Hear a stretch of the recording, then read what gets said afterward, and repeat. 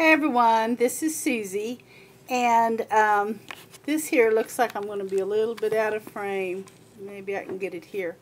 Uh, anyway, this is my little altered notebook from uh, my altered traveler's notebook from Michaels. Uh, I was going to originally do it in a tan color, but then um, I did find a pink one uh, later at another uh, Michaels, so I went ahead and done it in the pink. This here I have um, used some Pinterest uh, images which are the flamingos and I bought um, some of this really pretty little um, lace from uh, Hobby Lobby and I have stitched some lace in here which also came from um, Hobby Lobby. I have stitched completely around the cover in a light pink. Don't know if you can see that or not, but it is stitched in a light pink. And um, I uh, picked up, these are new, and I don't know how new they are, but I just happened to find them at Michael's. They are Tim Holtz little book rings. Um, they come in uh, different colors in the package. But anyway, how cute are these? They're so small. They're just like the big O-rings, only they're very, very small. And anyway, I picked up some of those. And anyway, that's what I attached this little story uh, metal piece on with. So uh, anyway, I was really, really uh, happy to find these little these little O-rings here. And then um, on the cover, this is a glassine bag that I have just simply adhered on um, with some of my glue that it really sticks. I have been using this uh, 450 quick dry adhesive and uh, anyway it really has been holding stuff on really really well and uh, anyway this little tag um, just sits in here in the pocket of the glassine bag and I did uh, Mod the the glassine bag as well as the little flamingos and the little book page uh, so that it would be good and sealed. And I did stitch around the image there of the flamingo. Uh, my images, of course, are off Pinterest, is where I have found them. So anyway, this ended up being a really chunky little book. Uh, it has two inserts, and um, they are really, really big. But uh, anyway, on the inside, once again, I have stitched this down. This could be used as a pocket here. and uh, But it is stitched in the in the side over here, and it is also stitched in the spine. So um, anyway, I'm going to make sure that I'm kind of in frame before I get started here. Uh, anyway, this is all flamingos, and it's so much fun. I had a ton of fun making this. Uh, I did leave the covers plain so that you could decorate it yourself. Uh, if you have a dashboard, I know sometimes I don't get real uh, carried away with the decoration of the covers and the traveler's notebooks. And also, um, sometimes I like to put pockets on them. So I have just left the uh, cover itself plain, other than I have stitched around the, the cover. So um, anyway, you open it up, and uh, all the papers are coffee dyed and stained. Here is a little flamingo with a uh, mat here so that you could journal on the back. I did use some cheesecloth. Um, and when I was Hobby Lobby last uh, week when I picked this, um, um, oh, the fabric and the flamingo fabric and all up, I did pick up this little vining. Uh, it was so pretty, this little leaf. And that is just so pretty. But anyway, I did use some of the fabric and then I, uh, this is stitched on. Uh, I do believe it's stitched on um, there. Um, or either that I have just glued this on maybe. I, I can't tell by looking. Uh, some of it is stitched on and then some of it is glued on. Um, here is some Seven Gypsies composition paper. Um, I picked up some of these at Michael's. Uh, I picked up the ledger and the composition. This isn't composition, this is ledger. Uh, the composition and the ledger paper. Uh, here is another just bag with a little library card in it. And then here is a really pretty flamingo here. They had some of the cutest um, images that I had gotten off of uh, Pinterest. But anyway, and then of course the back of the bag is blank. Here is some fabric, and then here's some more of that leaf. This is stitched on. Um, it's just, uh, this is a piece of the composition notebook paper here from Seven Gypsies, and here is some ruffled fabric. Um, another little piece of cheesecloth I've just kind of grabbed and sewed on. And then here is a um, bingo. This says bingo. And then uh, here is just a little bit of paper stitched together for journaling there and it just kind of sits in a in a pocket there. And then here is just, this isn't really anything, I've just stitched that to the to the page. This is some more Seven Gypsies uh, paper that I picked up at Michael's along with the composition and the ledger. Um, there was several books of uh, different papers there that I picked up. Here's just some craft paper, um, some more journaling paper. Here is the uh, flamingo uh, fabric. Just checking to make sure I'm still in frame when I move the book. Sometimes when books are tall, uh, it's really hard to keep them in frame. So anyway, here is some flamingo fabric I've just made as a page. Here is some more of that ledger paper and then some more of the stitching of the leaves. Leaves. And then here I've used corner punch just on some composition notebook paper there from Seven Gypsies. And then uh, here is the middle of the signature. Here is a little tip in there that I've put there another little piece and I've just kind of sewed the tab on the top for just decorative decorative purposes there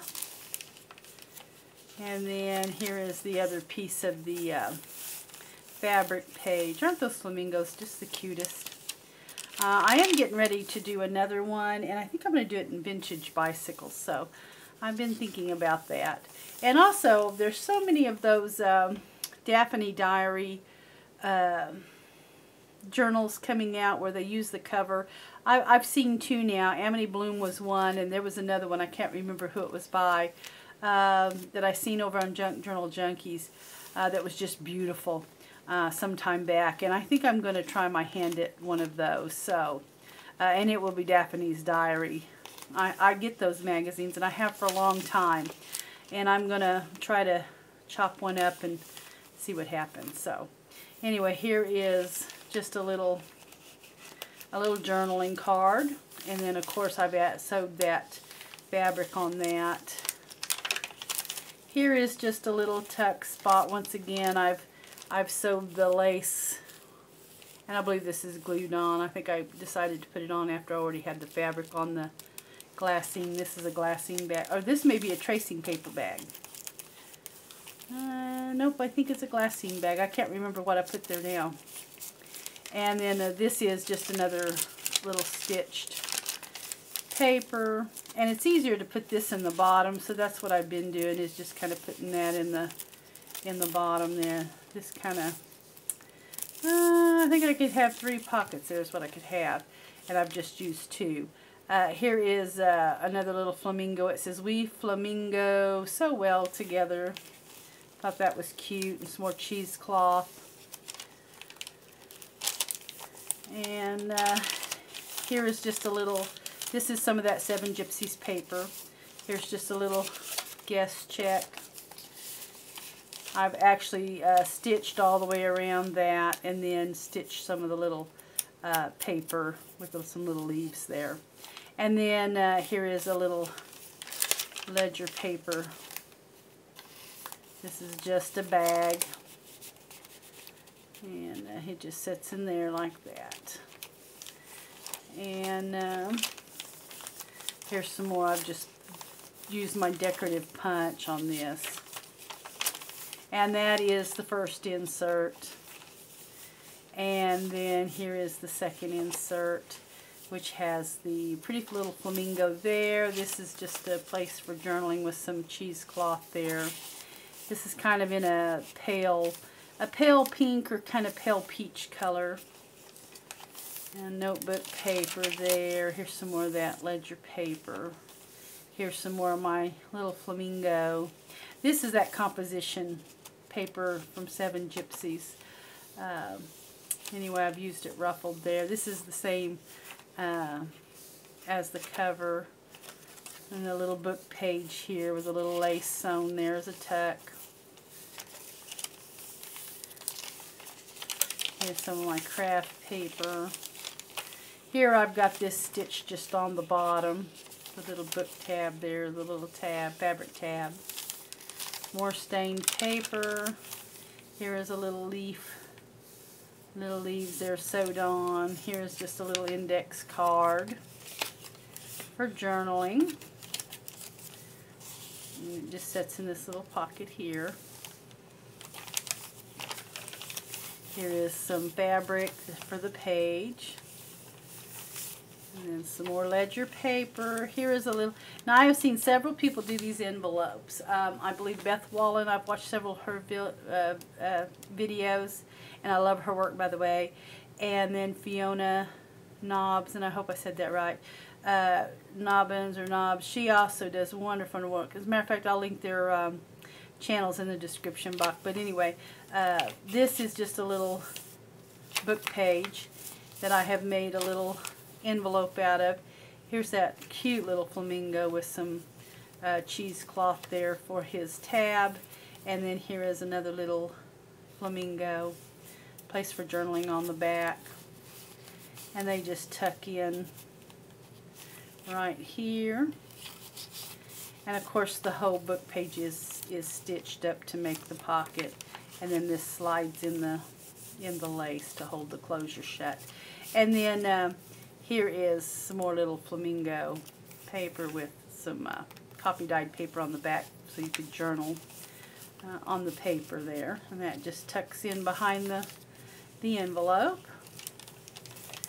And then here is another tip in with the little flamingo fabric. Um, this is one of my favorite images here. This, uh, all the flamingos have sunglasses. This is so cute, just absolutely adorable. Um, here is a little uh, library card. Uh, I did, uh, of course, stamp or stamp, um, punch the edges there. And here's the other part of that fabric fabric page. Here is, I seen um, is it Sigita um, coffee stains or I'll, I'll, link her channel also but I seen her do that with some yarn and so I took some cheesecloth and I kind of just wadded up the lighter color and then put some behind it to kind of make like a flower uh, but anyway I'll, I'll link her uh, channel as well uh, here is a little pocket there there's kind of like two little pockets there. And then here is another little index card with some paper sewn on it. Um, this is tracing paper behind it here that I've made a pocket out of. Um, I dug it out. I've been kind of playing with the tracing paper and all. So uh, just some various things. I get so much inspiration from uh, people on YouTube. Uh, they do such wonderful work. Uh, here is Living the Good Life. It is just simply a little a little tag here, little space for journaling, and then of course some more Seven Gypsies paper there. Uh, the Tim Holtz little clip that I think looks like the old time clips there. And here's another little tab sewn on. Uh, more craft paper. Here's just a little book page that I just kind of, you know, I was just thinking if you were journaling something here, I mean, it would kind of look cool with your journaling and then this kind of offsetting it. I just like that. And then uh, here is just very small little journaling journaling places here because this little pocket, because it's at an angle, uh, is not really very big. So this just kind of sets and tucks in there. And then here's some more of that uh, composition notebook paper here. Um, here is some ledger coffee stain and then here is that little flamingo again that I absolutely love. I have just really stitched around him a couple of times And then backed him, of course, with some coffee stained paper. And then here is the last page. But anyway, this is, and here is the back uh, side of the of the uh, notebook. But anyway, this is, like I said, it is really a chunky little guy. So um, really had a lot of fun with this. I am going to be listing this on my blog. So uh, anyway, this was just real, real fun. And I hope that you enjoyed watching.